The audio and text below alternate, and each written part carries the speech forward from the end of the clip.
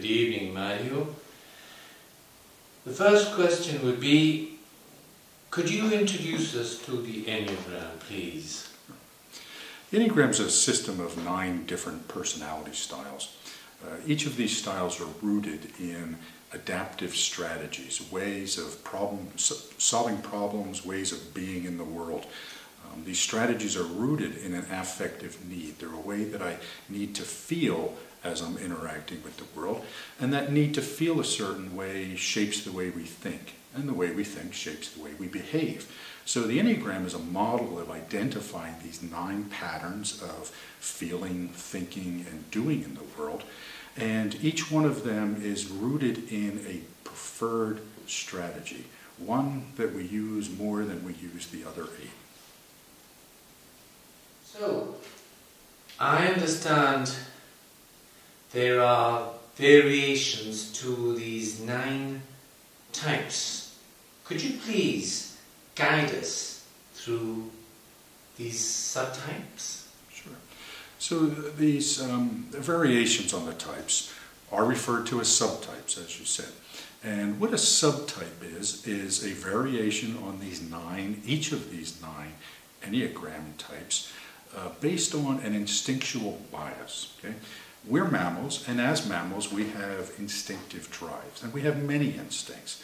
But those instincts do tend to cluster into three broad groups. I refer to those three broad groups as preserving, navigating, and transmitting.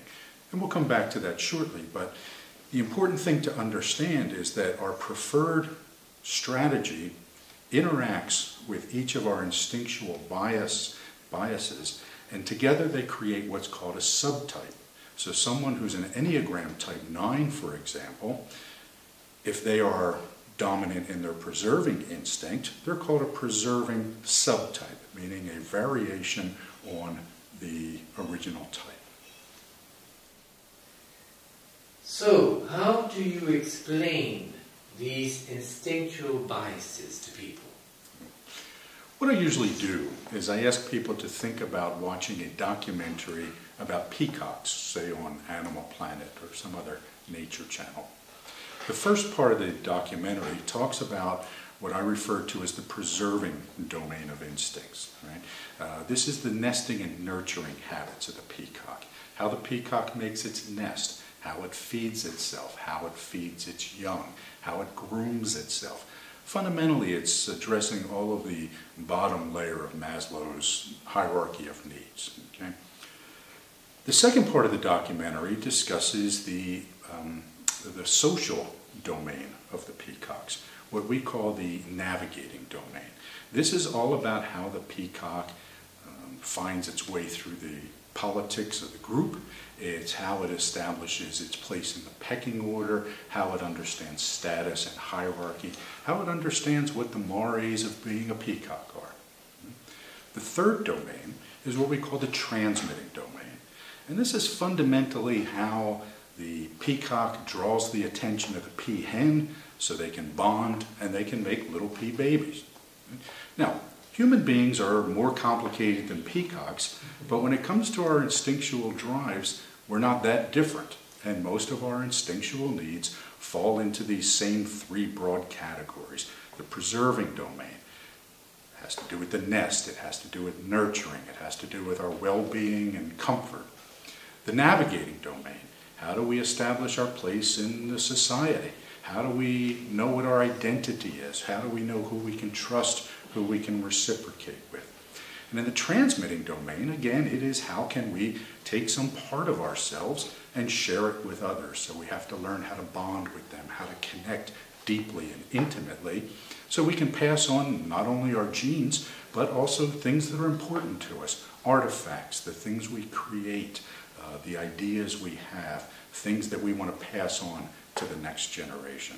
So the way to think about these three instinctual biases are in the same way that the peacock has these three domains of instinctive impulses and desires, humans do as well. And the strategy is how, how we go about satisfying those needs. Okay? So the type 1 who's striving to be perfect, their way of interacting with the world is going to strive to be perfect in the preserving domain, if that is their subtype. Okay? However, if they're uh, a navigating subtype, they're going to strive to be perfect in the way that they interact with other people and not be so focused on the preserving domain. Okay? So we have these three instinctual domains, and we have the nine strategies, and the way those two things come together is how we come up with 27 subtypes. You place a lot of interest in the biological aspect. Why is that so? I think that if we really want to understand the psychological implications of these instinctual biases on the way that the Enneagram types express themselves, we really have to understand the biology related to it because it does shape the way that we act psychologically. One of the uh, things to really understand, and uh, this is a big misunderstanding in the Enneagram world is that we don't just have three instincts.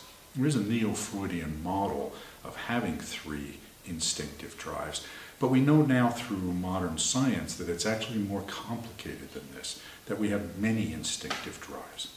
Now they do seem to cluster into three broad categories, but if we don't understand that there are multiple instincts, and very often multiple competing instincts, inside each of these domains, then we might not understand the behaviors that we're seeing that are caused by some of these competing drives. Okay? For example, each of us uh, has evolved to both cooperate and to compete. Right? So we have these impulses that drive us to, um, to go after resources and try to get them ahead of other people. But we also have this impulse that causes us to, as a social, member of a social species, to try to get along with other people, to cooperate with them. Okay? So we have one instinctive drive saying compete, get what's yours. We have another instinctive drive that says share, collaborate, cooperate. And this can cause real dissonance inside of us. And we often don't understand why we have these competing impulses. Okay? And we don't understand why the people that we interact with in our lives can be so contradictory. Right?